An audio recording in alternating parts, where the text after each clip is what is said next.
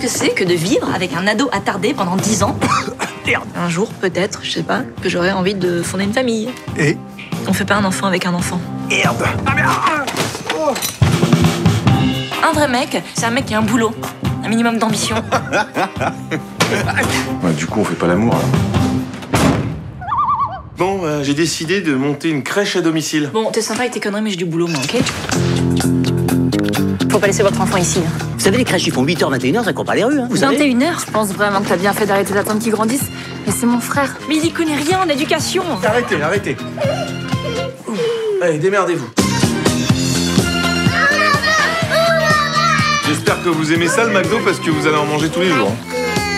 Oh putain Oh là là là là, t'es un porc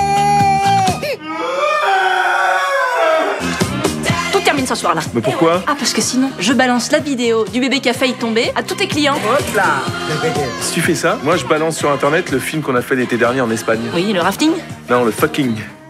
Le fucking motherfucker Il y a des techniques pour endormir les bébés, tu savais ça Les somnifères. Pas du tout. Faut les sortir, faut qu'ils se dépensent. Emmène-les au parc. Vous voulez toujours pas faire la sieste? Eh ben alors on continue à courir Encore 5 km et on rentre Qu'est-ce qu'un type comme toi peut apprendre à des mioches